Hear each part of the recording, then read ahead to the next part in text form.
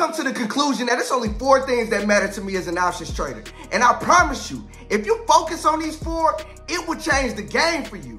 But before we get into this video, make sure you like, comment, and subscribe. And if you want to be a part of the best wealth building community in the world, then hit the link in my description to get a free trial of FLI Capital. And with all that being said, let's get it. Now, it's four concepts that I want y'all to understand. Number one, I want you to focus on entry. Number two, risk management. Number three, patience. And number four, discipline. The reason why I put entry number one is because it's going to separate a good trade from a bad one. Me and you can get into the same contract, but depending on the entry that we have, it's going to dictate who's going to get the win or who's going to take the loss. You got to understand that entry is everything. And I feel like people focus on so many other things that they don't understand that that's the most important thing your entry, when you get into the trade, when you buy that contract. People are so focused on the stock that they don't realize that they are options traders. So as an options trader, not only do you have to focus on the stock for entry, you have to focus on that contract for entry. Both matter a lot. So make sure you understand that. So not only are you buying the stock at a certain price, you're buying the contract at a certain price. And it's just like stocks. You want to buy low and you want to sell high. So that contract that you're getting, you want to get it for the low and you want to sell it for the high. So entry is everything. Another thing that you want to ask yourself is, what is my objective with the trade? Am I looking to day trade it? Am I looking to scalp it? Am I looking to swing? All of this matters because you have to find your entry on certain time frames. And all of these time frames isn't going to make sense for what you're trying to do. For instance, as a swing trader, I'm looking for entries on longer time frames. I'm not looking at the one minute. I'm not looking at the five minute. I'm not looking at the 15 minute. I'm starting out looking at the four hour.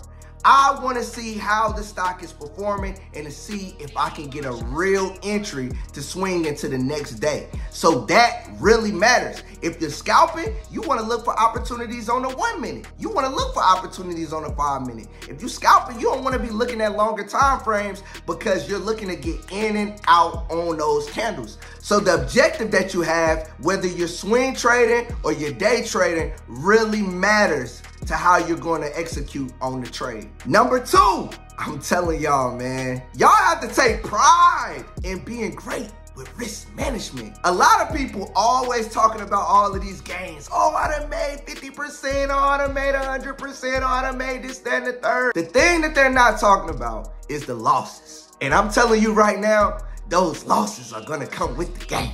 That's why risk management is so important. But I'm gonna tell you a little trick. This is something that is gonna change the game for you. When you take your entry, all you have to know is how much you paid for that contract. So you can then do the math and see how much would the contract be with a 20% loss. Now, once you have that information, then go ahead and set you a stop for a 20% loss so you can go on about your business. You want to start averaging small losses, please. And I'm telling you right now, sometimes you're not going to be able to make that decision to get out of a bad trade. So you need to let the stop loss do it for you. Go ahead and set the stop loss for 15 to 20%. And if you get stopped out, you get stopped out. I'm telling you right now, you're gonna be happier getting stopped out at 20% than looking back at your contract later in the day and it being down 50%, 60%, 70%, where you know you don't have the time for that thing to come back. You smoked. Do you want to get smoked? Or do you want to be able to say, you know what? I'm living to fight another day. Risk management is important, man, and that's going to be the game changer for you. So as soon as you get in the trade, go ahead and set that stop loss for 15 to 20%. Now, honestly, I would rather you only lose 10%, but on options contracts, y'all know how that go.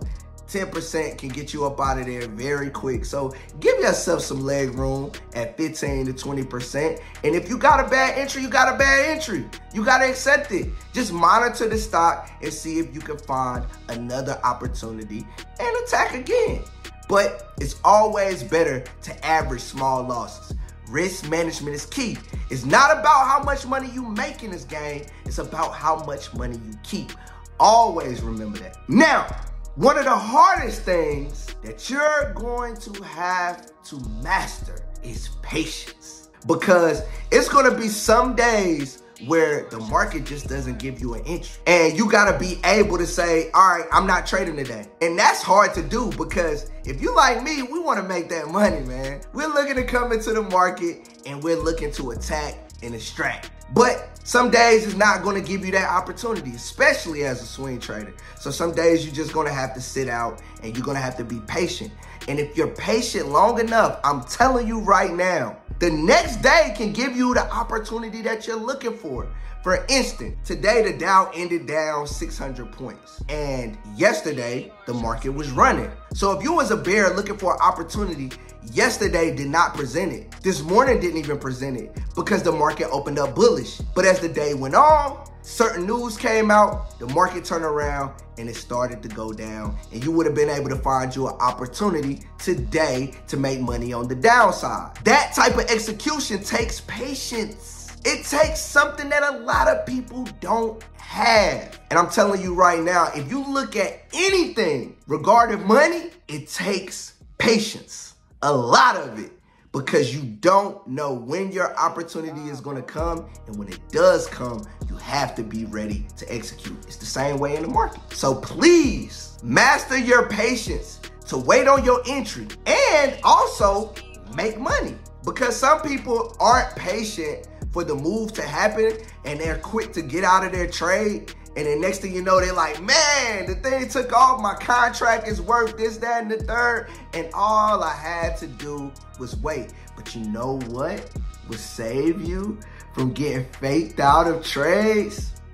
That stop loss. So if you're up in profit, all you have to do is start adjusting your stop loss. You can start off with putting it where you just break even on the trade. You can set a stop loss at that level, or you can put the stop loss at 10% or a 20% gain, and you just keep adjusting it as it goes up or down. So that stop loss is gonna help you from making bad emotional decisions in the market. So please, use that stop loss, man. It's your friend. You know how they say the trend is your friend? That stop loss is your friend. And the last thing that I want to speak on that's going to bring it all together and make sure everything is on point is your discipline. So my question is, how disciplined are you that you follow your rules and finding the right entry, that you make sure your risk management is on point with setting that stop loss, and that you're patient for an opportunity? Because it's not going to be easy to do every day. So it's something that you gotta continuously talk to yourself about and make sure you're getting strong on your discipline.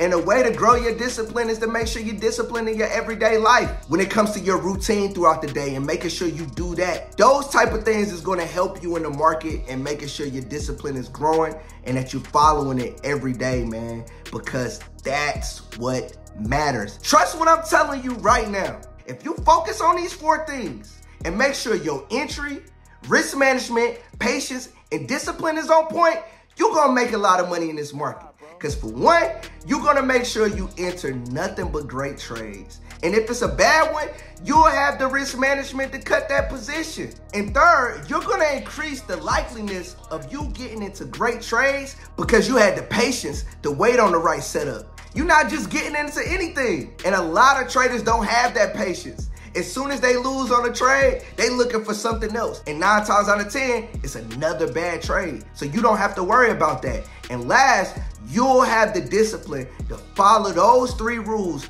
each and every day to make sure your trades is on point. I want you to follow these steps and let me know if that changed the game for you. I feel like each and every one of you that's watching this video right now is fully capable of making money by trading options. But it's certain things that you got to work on within yourself to get to the next level. So take that very, very serious, man, because I want y'all to run it up. I want to see y'all coming back to me saying, Rico, man, I ran up six figures because of what you told me. Rico, I ran up seven figures because of what you told me, and so on and so forth. I want to see y'all be great. So with all that being said, world is yours.